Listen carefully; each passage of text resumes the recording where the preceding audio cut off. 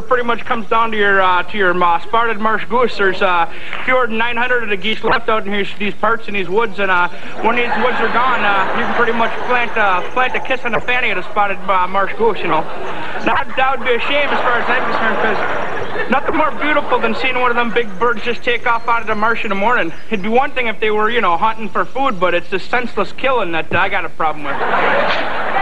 Uh, would it be possible to relocate the spotted marsh goose to another area, perhaps? Well, you got to realize you, you can't just take uh, one element out of the ecosystem. You got your uh, you got your fly, your mosquito, you got your elm beetle, and uh, you take them, so pretty much you're up to your eyeballs in bugs.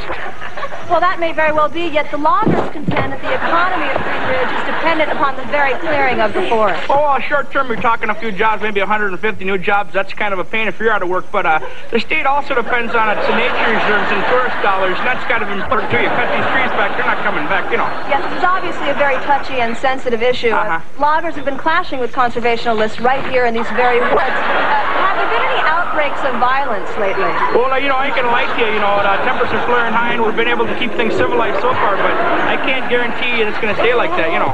So the loggers are not going to give up these woods without a fight. Well, Miss, I'm from Green Ridge, and I know lumberjacks. They like to get liquored up, and they like to, they like to fight. They're Scandinavians, and they're mean. You know, they are.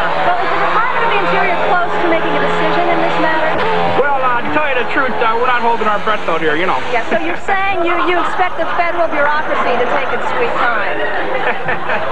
Well, there's a bear dump in the woods.